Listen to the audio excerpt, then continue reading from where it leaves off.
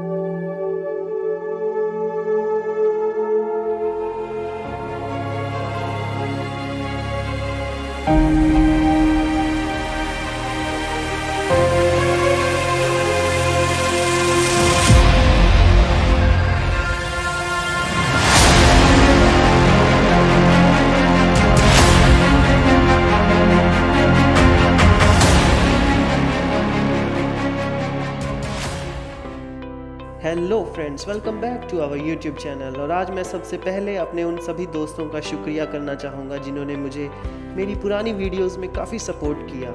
सो so, दोस्तों इसी तरह प्लीज़ मुझे सपोर्ट करते रहिएगा और मैं हर वीक आपके सामने एक नई वीडियो के साथ हाजिर होऊँगा। सो so, दोस्तों आज की हमारी इस वीडियो में हम ईगल के ऊपर बात करने जा रहे हैं। दोस्तों इस प्लानट पे ईगल की 60 स्पीसीज पाई जाती हैं जिनमें से मुख्य रूप से ईगल एशिया और अफ्रीका में पाई जाती हैं जबकि बाल्ड ईगल अमेरिका में पाई जाती है। दोस्तों, पक्षियों की दुनिया में ईगल को सबसे स्ट्रॉन्गेस्ट शिकारी माना जाता है। दोस्तों, ये एक्सपर्ट फ्लायर्स और हंटर्स होते हैं। दोस्तों, एक ईगल की औसत उम्र 20 साल होती है। इस छोटी सी इंट्रोडक्शन के बाद चलिए शुरू करते हैं कुछ interesting facts about eagles number one दोस्तों ईगल्स के पंजों की पकड़ने की शक्ति एक एडल्ट ह्यूमन के हाथ से 10 गुना स्ट्रॉन्ग होती है। नंबर टू दोस्तों ईगल्स ज़्यादातर ऊँची चट्टानों और ऊँचे पेड़ों पे अपना घोंसला बनाते हैं। वे आमतौर पर मेच्योर और ओल्ड ट्री पे अपना घोंसला बनाना ज़्यादा पसंद करते हैं। नंबर थ्री दोस्तों ईगल को स्वतंत्रता और शांति का प्रतीक माना जाता है। आपने शायद काफ़ी देशों के फ्लैग्स पे ईगल्स की तस्वीर को देखा होगा क्योंकि ये साहस और स्वतंत्रता को दर्शाती है। नंबर फोर दोस्तों, ईगल की आँखों की रोशनी इंसानों से आठ गुना ज़्यादा तेज होती है। इनकी दृष्टि इतनी तेज होती है कि वे 3.2 किलोमीटर दूर तक एक खरगोश को देख सकते हैं।